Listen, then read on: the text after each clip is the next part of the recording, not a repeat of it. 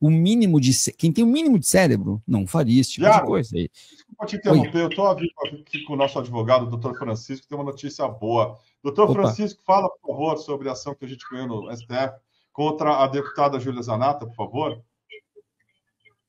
Opa! Bom dia. Bom dia. É legal que ele faz essas coisas, a gente quer, quem sabe faz ao vivo, né, Kiko? Eu digo para ele quando dar uma decisão, coloca do lado agora, vai. Conta da decisão. Vamos lá. Nós conseguimos uma reclamação no STF, uma decisão que a Júlia Zanata tinha sobre a DPF, a luz da DPF. Sim, na verdade, o que acontece, desculpa, gente, eu estou com... Tá dando para ouvir, hein? Tá, né? Pouco, tá cortando um pouquinho. Tá. Então, sim. E aí?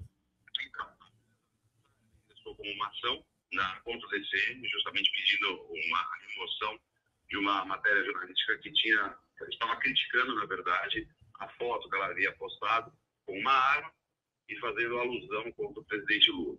Nós ingressamos com uma reclamação no STF sobre uma decisão que determinava a remoção desse conteúdo e o ministro Alexandre de Moraes entendeu que, de fato, aquilo estava censurando o direito à informação e à liberdade de imprensa e a liberdade do jornalismo fazer a, a própria crítica jornalística está implícita à função do jornalista. Que maravilha. A gente está muito contente com a decisão do Supremo Tribunal Federal, que tem aí garantido aí aos jornalistas aí a liberdade de imprensa, a liberdade de expressão, o direito à crítica, e que vem defendendo a democracia brasileira para que uh, os jornalistas independentes, como Kiko Nogueira e toda a sua equipe, consiga aí fazer a boa crítica, ter, manter aí o direito à informação e manter os nossos ouvintes, os nossos leitores aí informados de tudo que está acontecendo e tudo que não deveria acontecer no nosso país. Valeu, meu querido. Obrigado, doutor Francisco. Parabéns. Obrigado. E essa gasolina na sua Lamborghini. Tamo junto. Obrigado. Ah, eu fui pego, surpresa pelo Kiko aqui, então. Tá. Acabou de sair a decisão, eu liguei para ele contente. O bebezinho gritando ao fundo. Quem sabe faz ao vivo. Valeu, querido. Valeu, abraço. Tchau, tchau. Então, para quem não conseguiu entender direitinho, a gente acabou de ganhar no STF da deputada Júlia Zanata, que estava movendo quatro ações contra o TCM, é, a decisão do ministro Alexandre de Moraes, que extinguiu os processos e o assédio judicial que ela estava fazendo aqui sobre nós. Tá bom, meus amigos? Eu só posso pagar a gasolina da Lamborghini, doutor Francisco, com é, a colaboração de vocês. É um assédio judicial pesadíssimo, uma vitória importante para nós aí, nesse caso, contra uma deputada que nos persegue, que vive pregando liberdade de expressão, né, Viaro? Como todo bolsonarista, né? Ah, liberdade de expressão, e, no entanto, gastando dinheiro público para nos processar, para tentar me botar na cadeia. Tentar me botar na cadeia. Doutor Francisco está ganhando é, muitas ações no Supremo Tribunal Federal. A gente sai perdendo, já porque a gente paga. É difícil um pouquinho de entender, mas assim, cada processo contra o DCM, eu sou obrigado a pagar um advogado para me defender.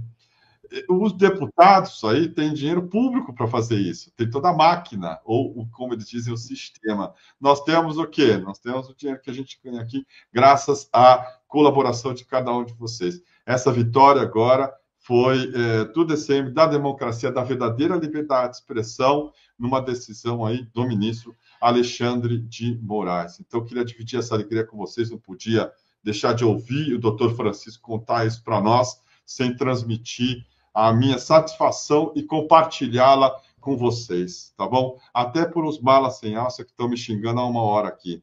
Pode falar, pode criticar aqui, repito, mas por favor, façam com educação. Quem começar a escrever em caixa alta, quem começar a xingar de puxa-saco, quem começar a dizer que é vendido, vai ser bloqueado porque não sou babaca e não levo é, é, é, xingamento para casa, tá bom? É, Maiara e outros aí.